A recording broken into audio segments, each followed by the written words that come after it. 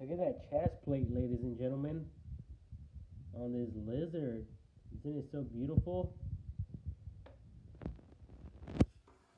Hey, little buddy. This light doesn't allow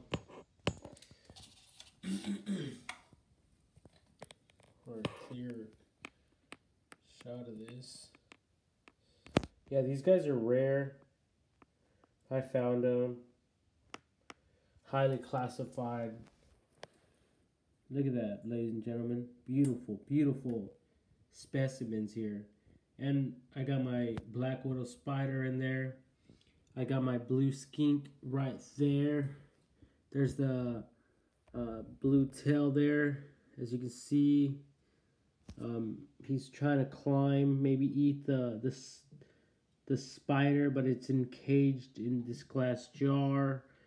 Um, and I gave him some uh, some beans. And it doesn't appear like they're eating them. On my business card that says create your website 123.com. I'm not advertising that, however. I just wanted to share it. Uh, not not at all. Not not at all. You know what I mean? Not not not in the slightest.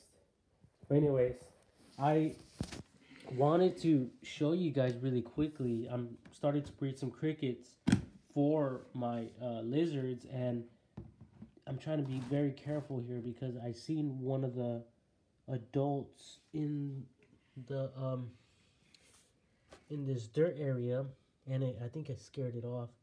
But look at that right there. There's this what appears to be like an egg right there on like in the center of the screen now. Now, I honestly do not know what it is. But I think it might be an egg right there and this this camera is not giving it any any uh justice. So I'm gonna flip this over and actually come in here. Um, and there's some dead ones because when I bought these crickets, um, they were, uh, some of them were dead. I don't know if they're dying out though. I hope not. But, um, anyways, see, look at that. What is that? Does anyone know? Is it part of the soil stuff? Or is that something that the crickets did? I guess someone that breeds crickets can explain that to me. It's just like a clear ball.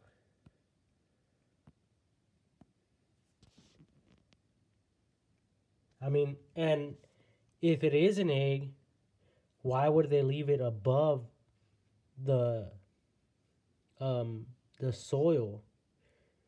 Wouldn't you think that they would bury it like they usually that like they normally do? I don't know, like I'm still trying to learn. Maybe it's just part of the soil stuff. Oh yeah, I think it is. I think it absorbs the water. I think that's what it is, like a diaper little thing. So anyway, maybe I'm tripping. So forgive me about that.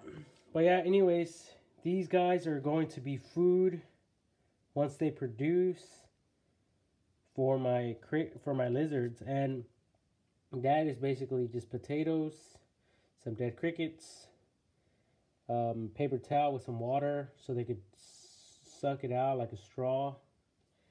And that's basically it. That's their home. That's their breeding facility there. And it's huge. Anyways, I'm out.